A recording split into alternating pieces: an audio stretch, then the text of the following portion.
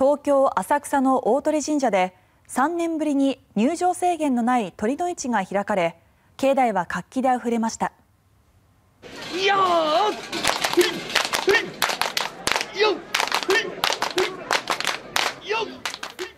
浅草の大鳥神社では午前0時から